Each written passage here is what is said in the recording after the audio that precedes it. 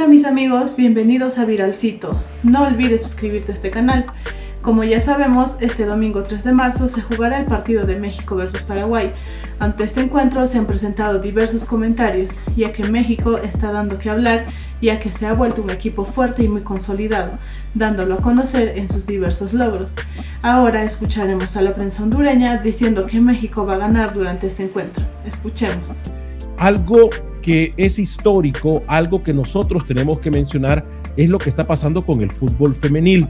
Em, después de que se realice esta primera ronda de la Copa Oro Femenil, en la cual nosotros, gracias a Dios, tuvimos el honor eh, de poder trabajar en ella, hay muchas cosas que nosotros podemos destacar y definitivamente que estaremos hablando al respecto. Por ejemplo, ustedes eh, que siguen la página de Facebook de Acción Centroamérica, miraban cómo nosotros estábamos en ese partido contra la selección de Estados Unidos, cómo nosotros estábamos eh, impresionados por el nivel de fútbol desempeñado por el Tri, por el Tri femenino.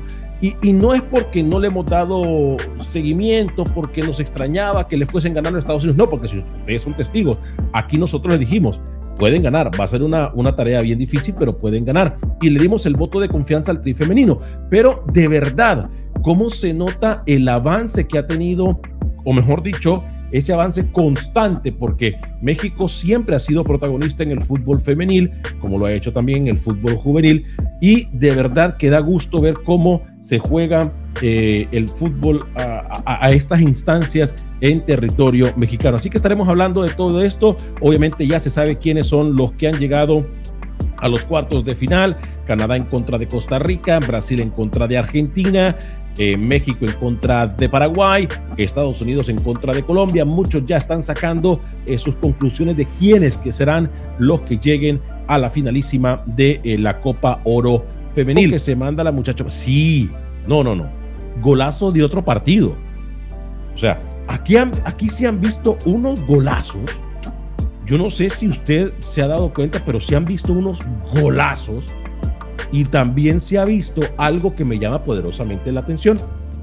Aquí nosotros no andamos mirando, ni mucho menos andamos hablando de que los jugadores fingen faltas o que son dramáticos cuando se golpean o que pierden muchísimo tiempo. La verdad, mis respetos para la organización y para eh, el coraje que se le pone eh, por parte del fútbol femenil en el terreno de las acciones. Pedro Moreno me dice, El Salvador ya estaba haciendo muy bien las cosas contra Paraguay, pero de pronto se derrumbó. Eh, qué pena eh, la poca asistencia en los partidos de la Copa Oro Femenil aquí en Houston. Sí, es más, la selección que más llevó aficionados fue la del pasado domingo, o mejor dicho, fue la del Salvador. La mayor cantidad de aficionados es la del Salvador, que fue la que llegó en su mayoría Em, por ejemplo, en el primer partido creo que hubieron 4.000. Mis amigos, ¿ustedes qué piensan acerca de este partido? ¿Quién es tu favorito para este enfrentamiento? Para mí, la selección mexicana tiene a todo a su favor para poder ganar este partido. Sigamos escuchando. Partido eh, de los cuales prácticamente el 95% eran salvadoreños. En la segunda jornada de la selección Cuscatleca habían 5.000 personas, que fue el pasado domingo. Ayer habían creo que 4.000 y pico de personas.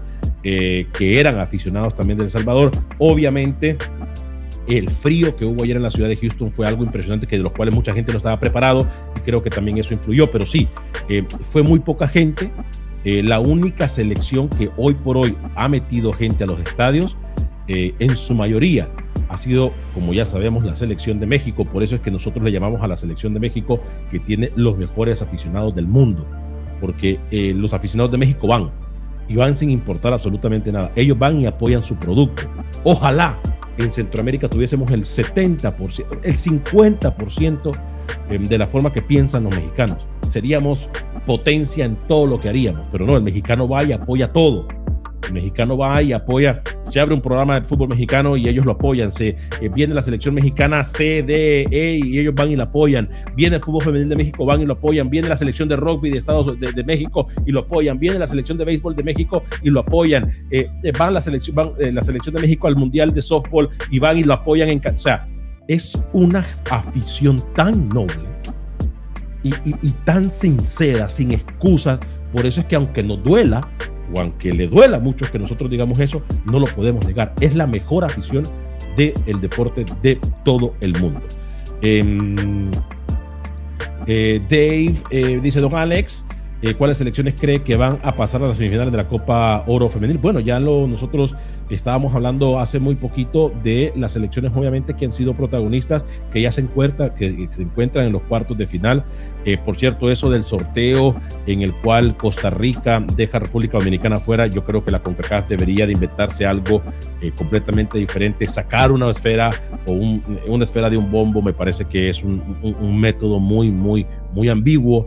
Eh, y tendrían que inventarse algo, eh, un partido adicional o qué sé yo, pero eso de dejar a un equipo afuera, de, de ganar una clasificación a lo que sea, fútbol masculino, femenino, lo que sea de cualquier deporte en una mesa, no me parece muy bien. Canadá, sin duda, yo creo que Canadá eh, tiene em, una gran eh, posibilidad de ganarle otra vez más a la selección de Costa Rica.